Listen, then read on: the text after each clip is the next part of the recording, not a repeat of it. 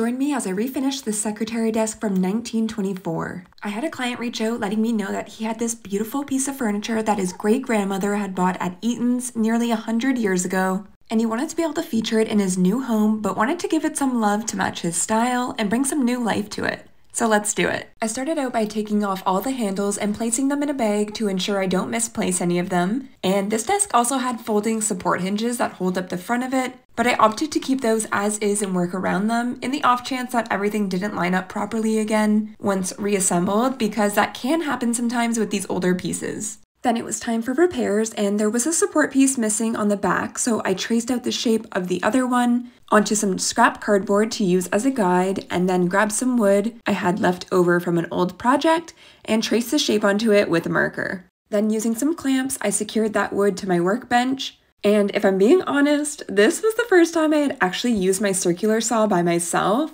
I normally ask my husband to do it for me because I'm always nervous I'm going to screw it up, but I figured I had to do it eventually.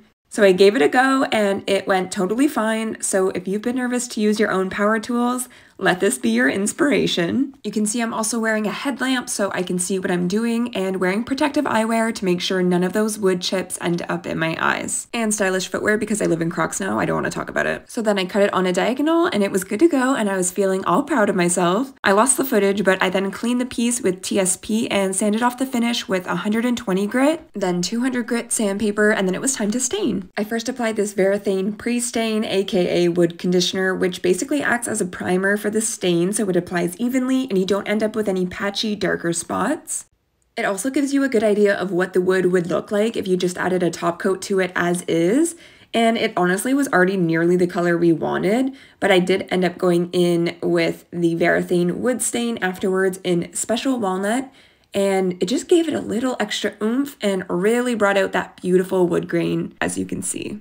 I apply my stain using shop towels because they're disposable and this stain is oil based. And always remember to apply it in the direction of the wood grain to get the best finish. Once the body and drawers were stained and dried, they were looking like this, and it was time to top coat. I used the Bare fast drying water based poly in a matte finish, although I do find that this one looks somewhere in between a matte and a satin, which is why I really like it. I put that on the body, but the drawers were looking patchy and weird when I applied the top coat, so I ended up redoing them and just sealing them with this hemp oil. It's from Fusion Mineral Paint, and just look at how beautifully that brings out the gorgeous wood grain and makes it look moisturized and totally refreshed. Then it was time to tackle the handles, which started out looking like this, but my client wanted them to be black, so I had to clean them up to give the paint a good base to adhere to.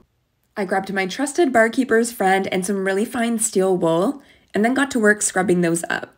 I wanted to get rid of any patina and any dirt or grime that may be on the surface. This is what they were looking like after. Then I gave them two coats of black spray paint and it was time to tackle the inside of the desk. For some contrast, my client wanted the inside painted black and this so was I'm pretty fusion trying to get into all those small nooks and crannies with my giant hands, but we figured it out eventually. And this is the finished product we ended up with. This was such a fun flip, and I absolutely love how it turned out. We decided to keep the little drawer inside wood to give it a fun pop, and I think it was definitely the right choice. I got this message from my client when he saw it, so I call that a win. Let me know what you think in the comments, and make sure to follow for more furniture makeovers.